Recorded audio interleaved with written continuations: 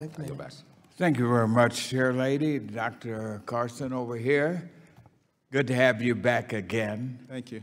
Dr. Carson, are you familiar with own to option mortgage programs Uh, In general, yes.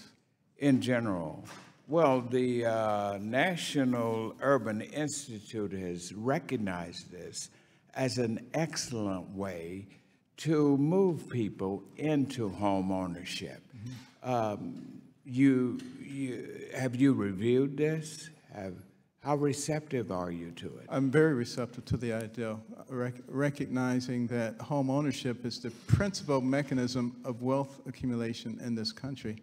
The average renter has a net worth of 5,000, the average homeowner 200,000. That's a 40-fold increase. So uh, we're looking at multiple ways, uh, in- including renter to ownership uh, models uh, to increase home ownership, particularly amongst some of the demographics that have fallen behind. That's very good, and I encourage you to continue that as well. Now, let me go to a project you have mentioned some time ago as being uh, one of your uh, real projects that you can take some authorship in. It, it's called Envision Centers. Uh, could you tell us about that? I've spoken with some of the public housing uh, authorities in my district down in Georgia, like East Point Housing Authority and many others, and they seem to be very excited about this. Tell us a little more about that, will you? Yeah, well, the, the ideal comes from, from the Bible, uh, Proverbs 29. Hold on, it comes from the Bible? From the Bible, Proverbs Very good. 29, 18 says, without a vision, the people perish.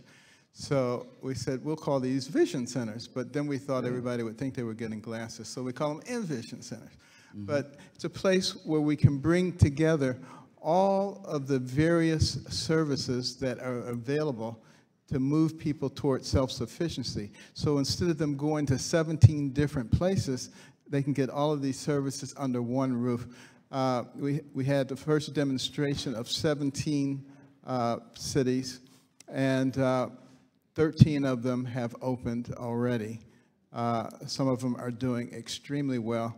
And, uh, you know, this is, this is just a model which I think is going to explode very soon, and we're going to have a lot of these. Let me ask you this now. You mentioned when you made that announcement last April, I believe, um, you did say, as you just mentioned, 17 centers open. But to our available knowledge that has come to us, only three, only three, not 13. Um, so there's some discrepancy there. Are you aware of that? Uh, There may be, but uh, uh, there was actually an article in uh, OAN this week that details the 13 that are open. Okay, uh, that's good, the Envision Centers. I hope you continue that. Folks in Georgia and my uh, district are very excited about it, and so I look forward to working with you. Now, tell me and give me a very good update and let me know, because the last time you were here, you and I had a very spirited conversation about your desire, or wasn't your desire, it was, as you said in your statement, somebody said that we ought to zero out the Community Development Block Grant Program. After you and I talk, tell me, are we secure with that program, or do you and I have to go to battle once more on that? I don't think we ever have to go to battle, uh, regardless of whether we, Well, let me tell you, man, if you all move one inch to zero out the most effective program that cities and states and counties use to lift themselves up and be the cities and towns that they need. Yes, we will go to battle.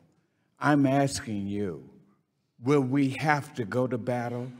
Are you all still planning to zero out the budget for the CBDG program?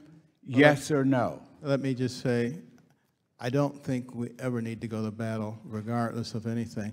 Having said that, you know, as I've said before, the CDB, CDBG program has been helpful in many cases. No, I, I I know my time is short, but are, have you moved away from zeroing out that budget, yes or no? It's not a yes or no question. Yes, it is. You just want to make it into a battle. It doesn't need to be. No, I want a yes or no answer. You're going to do it or you're not. Apparently, you all still have that on the table. The gentleman from Ohio, Mr.